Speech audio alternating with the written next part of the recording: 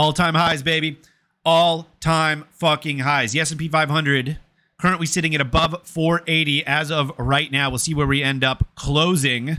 As of today, we have another hour and a half in the markets. My name is Hamilton. I'm here with the Trading Initiative, and this is today's Markets in Focus. We're wrapping up the week here, January 19th of 2024 at all-time highs. We knew it was coming. We knew it was coming. Guys, if you haven't already, I will link the video in the description below. Last March in 2023, we put out a video that says bears are in disbelief. The market is at the precipice of a brand new bull market. Caught a lot of flack on FinTwit specifically for that video. I encourage you to go and watch it. Not because we were right, but because the stuff that we discussed in that video is directly applicable to what happened all year and into 2024. Please go back and watch that. We have been long the market more so than not since the beginning of 2023. We laid out the thesis in March of 2023. The video right now is sitting at like 150 views. If you want to learn why and how we were able to take advantage of last year and now so far into this year, I highly encourage you to check that out. Without further ado, let's get into this week's moves, right? Let's go through and look at the, excuse me, here when we get to the intermarket relationship tab and we sort through by weekly moves. We can go ahead and see first off um, some great moves. We're sitting at all time highs. The Q's up 2.23% on the week. Specifically, that growth area of the market. Growth is back in control, which we're going to see in a second here when we go through some of the uh, the Koyfin intermarket analysis stuff, but growth is back in the driver's seat. There was a period where value was outperforming growth for about two, two and a half weeks. We took our foot off the gas pedal, opening up new positions, but here we are once again. Growth is reassuming their leadership role and at all time highs, guys. Statistically, we're going to go through this in a second. Very bullish. If you're uh, shorting, expecting a double top, Low probability chance that hits. If it does hit, you're going to make a lot of money. Very, very low probability chance. This is a double top. You're going to want to be buying market leadership right now. The stocks in 2023 that established themselves as market leaders in January ended up being the market leaders by the end of 2023. Almost an entire year of overperformance. Are we in the same area right now where the market leaders breaking out into all time highs are going to continue to break out and lead the market through 2024? We think it's a pretty goddamn good shot. And so we're buying those. We're going to go through a couple of those. Qs, though all-time highs. The S&P 500 up 0.79 on the weekend into all-time highs. Guys, this is incredibly bullish. As a matter of fact, realistically, the only area of the market that has kind of gone kaput is Bitcoin. Bitcoin post ETF, sell the event, not too sure. Still primary uptrend, but definitely some weakness there.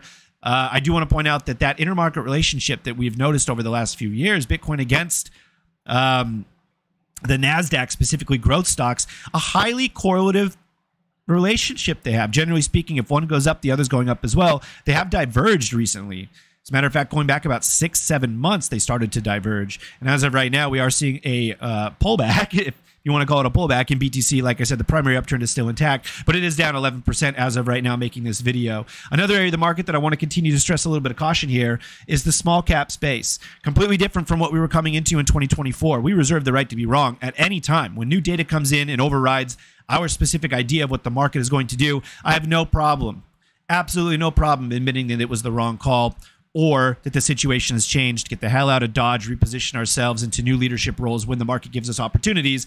As of right now, we're going to look at this from an absolute standpoint. Small caps are not leading. We do not want to keep pumping money into the smalls and mids unless we're looking at software, cybersecurity, or semiconductors. Those are still outperforming. But the Russell as a whole, not performing well back underneath uh, that 198 5 $200 range. We don't want to be continuing to commit capital because right now large cap and mega cap growth is outperforming everything. We have the S&P 500 at all-time highs, we have the Nasdaq at all-time highs, we have the Dow Jones Industrial at all-time highs. This is the second year of a bull market. Don't let anybody tell you differently. Let's look really quick the last 3 months worth of sectors. Let's see what do you expect to be the leader? Probably tech and there it is. Tech. It's tech. This is why I was just saying at the beginning of this video, you want to find the market leaders because the leaders that led last year were set up in January. We had Nvidia breaking out in late January. We had some big moves in Microsoft. We had some big moves in lots of different semiconductor spaces or uh, uh, companies in general back in January, February of, of last year. And they ended up, that was the leading sector in industry, tech and semis. We're getting the same sort of push here into 2024 into all time highs. That's the difference. All time highs are statistically very bullish opportunities to be long. You do not want to be shorting this stuff. As of right now, we're focused on things that are currently above SPY in the last three months in particular tech, financials, which have come down slightly but are starting to bounce. We're long communications and consumer discretionary because that also rounds off that kind kind of big large mega cap growth thesis that we have, although they have underperformed, right? The majority of your cash should still be long tech, not necessarily so much in communications and consumer discretionary. Tesla taking a big fat shit on the consumer discretionary space, but other areas of the market, specifically the retail industry, which we're going to see right now actually, are doing relatively well. So even though the big boys at the top, Amazon not doing bad, but definitely not in a leadership role yet. Retail, though, is doing remarkably well. So as Amazon and Tesla are kind of Tesla straight up getting killed and Amazon kind of hovering around its previous highs, retail has held up relatively well. So as consumer discretionary underperformed SPY over the last three months, retail has overperformed. Think big leader names like Abercrombie and Fitch, etc. Kind of harder to trade from an option standpoint, but still leadership roles. So if you can find a slot, feel free to grab something like that. They're still showing leadership roles. Semiconductors. This is the leading industry group over the last three months. It's the leading industry group over the last year. Guys, you got to be constantly looking at opportunities to grab stuff where you have clear risk levels. I'm not saying go out and ape into NVIDIA, but I am saying that, for example, we're going to go through a trade idea that we just put on uh, yesterday, actually. It's AMD right? AMD into all time highs gave us a nice little risk level to be able to get in. We don't just want to ape randomly into these semiconductors. Find your risk level so you know where you're right and where you're wrong. AMD giving us an opportunity, ARM also giving us a new opportunity soon. Both of those are semiconductor names that are moving in the right direction. Home builders, another space that has outperformed over the last year by magnitudes. Who would have expected that? The beginning of 2023, coming out of that bear market in 2022. If you had told me home builders are going to outperform literally everything, I would have said, What are you smoking right now? Is it crack cocaine? Is it from Hunter Biden? Hit me up, right? Because I would not have ever expected this to happen. And yet here we are. We have two positions BLDR, AZEK, both of those holding up relatively well. But from an option standpoint, once again, it's a little bit harder to get in this stuff. So look at your higher beta growth stocks, specifically large mega cap tech stuff, semiconductors. You have Marvell breaking out, AMD breaking out, Nvidia is leading the market, etc. We also have some regional bank stuff, although they have come slightly down. We have old positions in these things. They're free trades that are still on our books for March contracts. We still like regional banks, but probably not the time to be adding into this stuff yet. We want to see it start to catch a bid and bounce. Right now, it's just slowly depreciating positions on the books that are free, totally fine to continue to hold. But we don't want to continue to commit capital until we see some strength. But here we got internet and software names rounding off that tech sector that are outperforming SPY and in uptrends, right? You're getting the general idea here. We're trying to get long again and we're already long large and mega cap tech stocks. I mean, that's realistically the space that you should be focused on. Looking at market caps really quick, we can really see it here, right? We can really see the overperformance specifically coming off of uh, the beginning of 2024. If you were trading with us from November through the end of December in 2023, there was a absolute shit ton of over uh, performance in small caps and mid caps. We were buying high beta stocks left and right, breaking out of these nice stage one accumulation zones. They performed very well for us for about six weeks. And then all of a sudden, at the end of 2023 into 2024, the market started to pull back. And guess what? We started Uh, not we, but the market started to buy large caps again. I don't control what the market buys. We simply just need to identify and follow if we like the trade, and we did. So we started to see the reemergence of large cap tech stocks, mega cap tech stocks catching a bid on a relative basis. We saw everything else start to come down. And so we said, listen, if we're still bullish, which we are, obviously, we're in the second year of a bull market, fourth year of a presidential election cycle, which is very bullish, generally speaking, specifically when a sitting president is seeking re election watch out for that video that's coming out relatively soon on our 2024 predictions of what the markets are going to do here. But we saw everything else against SPY come down. We saw large cap start to catch a bid. And so over the last week, week and a half, we didn't catch the absolute bottom. That's not our game. We started to accumulate this stuff again. And so far, we're at all time highs and the trades are working, right? So that's where we're our heads at right now. It's large cap, mega cap, growthy kind of stocks with a with a uh, uh, tech stocks being like the number one area that we really want to be pushing our cash into right now, right? So let's look at stuff really quick. I want to point out, uh, you know, we always do like a little bit of a, a Twitter thing here. I want you to look at this really quick. For guys that expect a double top to happen, and I'm actually going to show you the stats behind a double top in a second. Look at this chart from Bank of America. Brilliant. Illustrates secular bear markets and secular bull markets.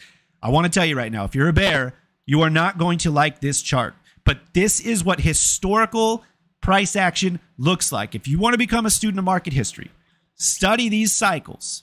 I highly encourage you to do so because they provide a very important framework for your trades and investments, guys. Look at this stuff. If you go back, you can see that these secular bull markets coincidentally matched up with kind of big global problems, right? Global fiascos, if you will. Um, and so, what we are noticing here specifically is that we are in a new secular bull market starting in 20 it shouldn't say new but it, within 2020 2013 excuse me and these secular bull markets tend to run for 20 25 years right? If you look at it through history secular bull 16 years secular bull 20 years the secular bears run almost the same amount of time almost 13 years here almost uh, what is this 14 years here uh, 13 years here. Here we are 2013 to present. We still have an additional five to potentially 10 years of a secular bull market. That doesn't mean there's not going to be corrections. That doesn't mean there's not going to be a bear market within the broader secular bull market. What it means, though, overarching from a long point of view here, you should be more bullish than bearish. That's it. You don't want to buy every dip specifically if you're trading within the time frame that we are which is anywhere between 45 to 120 days out there are definitely areas of the market you do not want to be buying the dip. 2022 great example. But from a secular standpoint from a broader standpoint we are in the middle maybe third uh, third uh, quarter here of the secular bull market. So if you're shorting this all-time high you are shorting historically a great opportunity. Just go back and look at all the previous all time highs. A great opportunity to enter new positions for the next leg up. Because I want to prove it to you, we can go to actual double top stats. These are double top stats from Thomas Bulkowski himself at thepatternsite.com. Highly encourage you guys to go through this. Best technical website ever. Quantifies every single thing you can possibly imagine indicators, studies, chart patterns, candlestick patterns, everything. He says that during bull markets, these double tops are middle of the range and that they fail quite a lot, as a matter of fact. Break even failure rates at 20%. Percentage of meeting price targets only 43. So less than half of the time, this stuff actually plays out the way that it's supposed to. Inside of a secular bull market at all time highs, it is disadvantageous to be shorting based off of the stats of the chart pattern itself. And once again, based off of the secular bull market that we are in. All right. So if you want to, feel free. Absolutely. It's your money. I'm just trying to show you based off of statistics and numbers that the trade is not going to be easy if you are looking to short with any sort of time into this all time high. For the rest of us that are more focused on making money and not about being right, we're going to go ahead and buy some fucking stocks here. So let's go ahead and start off by looking at the Dow. Let's go and look at the Dow really quick. The Dow here, we're sitting near all time highs. Here. This will be an all time high close if we were to close up here. Looks fantastic. Let me go ahead and point this out. We uh, talked through this during our monthly charting session. We go all the way back to these recent all time highs. Does it look like a time to be shorting? Please tell me. Does it look like a time to be shorting? No, it absolutely doesn't. Every single time the Dow starts to break out into new all time highs, generally speaking, the next leg up. The next leg up. Three biggest sectors financials, healthcare, and tech. So this is a broader view of the market that is not tech dominated. Even the S&P 500 is tech dominated, being 30% of the S&P 500. The Dow, I think it's somewhere like 10 to 12 or 10 to 15, something like that. An overwhelmingly large amount of it is healthcare and financials. So if you have healthcare and financials that are supposedly not doing fantastic, and yet the Dow is still at all-time highs, come on, guys. Come on, guys. You should be looking to buy more than sell, at least this year. Go ahead and look at the Qs. Once again, if you're a technical trader, this is a rounded bottom breakout into new all time highs. This is not an opportunity to be looking to short with any sort of time. If you didn't think this was a market index, you would be buying this long. What is the difference? If you're a technical trader, you follow price. You follow price. And this specific setup is bullish. Any other chart, you'd be buying it, but because it's an index, people want to sit there and say, there's no way. There's absolutely a way. You learned last year that if you were a bear, you got fucking run over more often than not. It's probably going to happen again. I'm telling you, trends tend to trend longer than you want them to. So catch the ride. Catch a ride on the trend, boys. S&P 500 once again looks like we're going to close if we don't fall back within the next two and a half hours. We're going to close at all-time highs today. Same setup as the Dow. Same setup as the Qs. Is it surprising to see the S&P 500 follow the Qs? Nope. It's not. The biggest stocks in the world are in the Qs. If the biggest stocks in the world are hitting all-time highs just from waiting alone, you have to assume the S&P 500 is probably going to follow at the very minimum the general direction. Qs broke out first, SPY is now up there as well. This is a breakout in all-time highs. Once again, if this were any other type of chart, you would be looking to buy this, not short this. IWM, I mentioned that we're not looking to add exposure in here. We don't want to. If it finds a floor here, that's great. We're going to wait till it's back up and over 198.5 to 200. There's no reason for us to get in here. It's messy. The only three industry groups within the small and mid cap space that we're still looking and holding semiconductors, um, cybersecurity, and software. Those are still overperforming, but the vast majority of small caps, I don't give a shit what Brett says. I don't give a shit about small cap industrials still still running. I'm not trading small cap industrials. There's no options availability on those motherfuckers, and they move at 1% ADR. Congratulations, they're hitting all time highs. I'm going to go trade something with 3 to 5% ADR, moving in the right direction that I want and trade that instead. You can spend six months in a small cap industrial and make your 12% and pat yourself on the back. I count that as a shitty opportunity cost right there when we can find other areas of the market that are going to move faster and at the very minimum in the same direction. So I'm going to stay out of these small caps uh, for, for the foreseeable future until IWM wants to start playing ball. Most important sector in the market, obviously tech, all time high. I don't need to say anything else. Look at this. All time high. It's been at an all time high for a long time. This is how trends work. You want to bet against the trend. Eventually, it's going to work. You're going to make a bunch of money, hopefully, if you hold the trend long enough to the downside. But you're going to lose a majority of your trades. That's the trade off. Low win rate, high reward when you win. You don't get both. If you get both, you're probably a fucking liar. That's how this shit works. It's just simple math. Semiconductors, arguably the most important industry group in the entire world. New theory out here saying that semiconductors are kind of the new Dow theory, with semiconductors showing that if they're in an uptrend, which I don't know if you want to count this as an uptrend, but this looks like a fucking parabolic move over the last few months. Um, that the world economy is probably not doing that bad if demand is still sky high for semiconductors. I mean, every business nowadays requires semiconductors in some capacity, even if it comes to the computers that they're using at their construction company, right? So semiconductors screaming here all time high, led by NVIDIA. We're going to talk AMD in a second. We're going to talk ARM in a second. But we just had blowout earnings with TSM, which is arguably the most important international semiconductor company in the world, and demand was through the roof. They gapped up, right? Very hard to see semiconductors coming back down with any real vigor here to retest all time highs. It looks like we're breaking out and we have a new regime in. Semiconductors are at all time highs. Buy this. The one area of the market, or I guess the next two charts I want to show you, these are the watch out areas of the market. Now I'm going to go ahead and delete these because this was for a chart that we posted inside of TTI. It doesn't make sense here.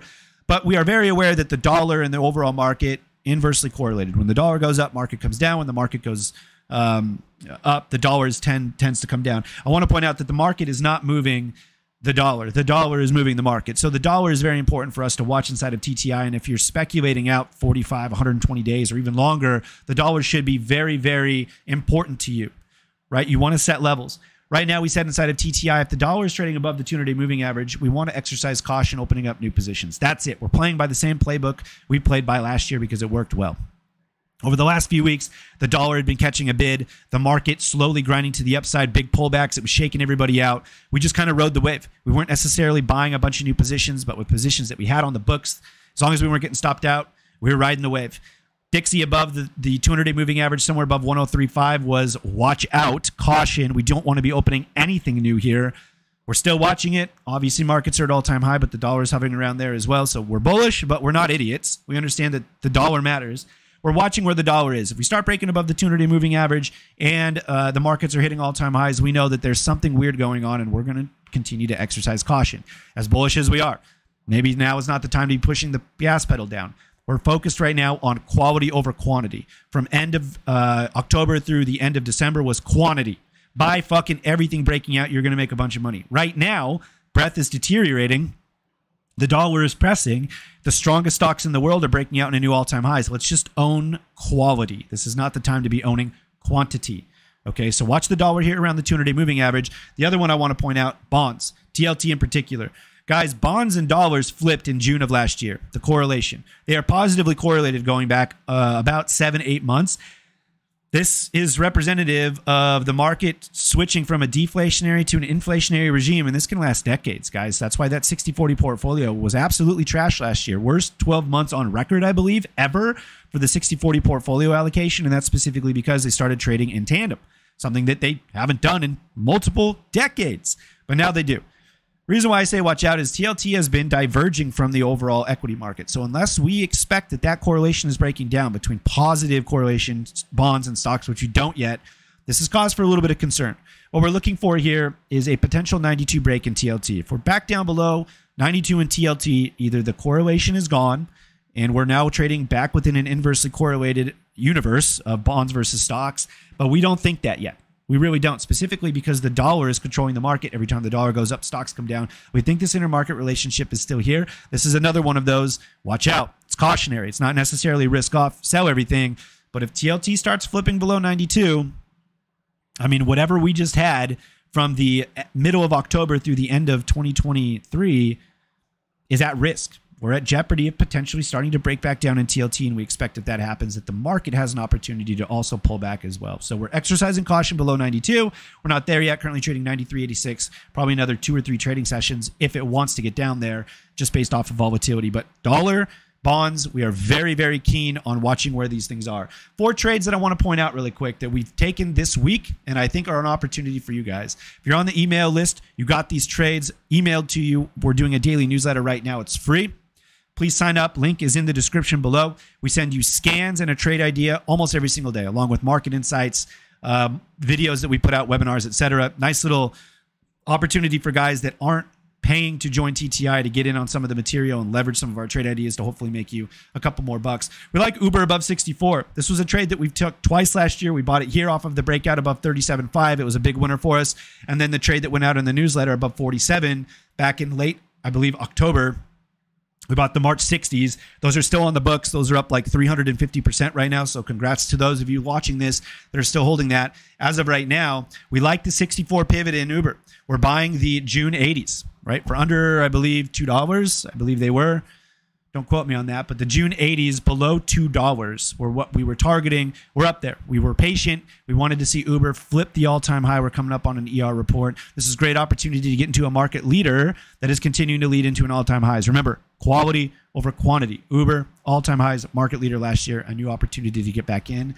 If you do have a previous position on Uber, treat this new position as, as a brand new position. You still have those March 60s because they're still gaining. The trend's still moving in your direction.